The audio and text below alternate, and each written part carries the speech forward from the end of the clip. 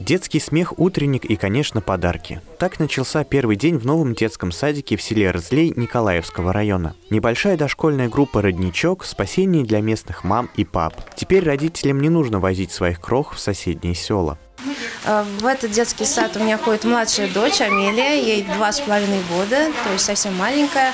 До этого у меня старшие дети ходили в Николаевский э, садик, то есть приходилось рано вставать, э, возить их. Это было очень удобно. Теперь у нас садик буквально через дорогу, и мы очень довольны. Маленький, но уютный. Ребята уже освоились на новом месте. В гости не с пустыми руками к ним приехал губернатор, раздал подарки и пообщался с детворой. Вы здесь уже спали? Да. И даже здесь кушали? Кушали. Вкусно? А что дают покушать вам? Кашу?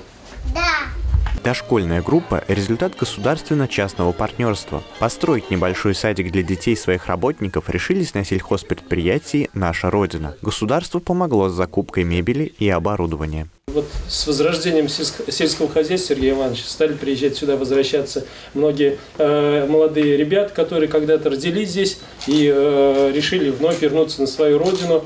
У них стали появляться такие очаровательные вот ребятишки. И на самом деле, там, если с мужчинами э, как-то немножко попроще, то мамы тоже сказали, что мы тоже хотим работать. И слава богу, такие рабочие места появились. И возникла необходимость, потребность э, в том, чтобы вот э, в создании такой небольшой дошкольной группы. Также новоселье отпраздновали дети из села Большой Черклейн Николаевского района. В садике 6 групп рассчитано учреждение на 120 детей. В 2013 году в селе построили новую школу. С тех пор встал вопрос и о дошкольном учреждении. Старое здание садика давно закрыто. Родители также возили своих детей в другие поселения. В нашем садике, мне кажется, есть абсолютно все.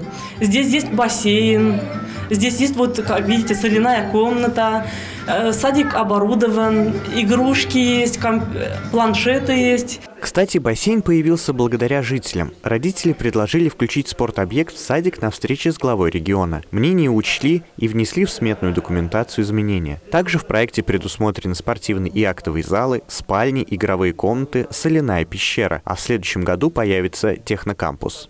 Это некий детский дошкольный технопарк, поэтому будет доукомплектовано робототехникой, э, детскими ноутбуками, э, лего, все, что связано с цифрой, э, с компьютеризацией робота, техникой. Мы это сделаем, поручение мы это выполним. Строительство двух дошкольных учреждений велось в рамках национального проекта «Демография». Новости Улправда ТВ.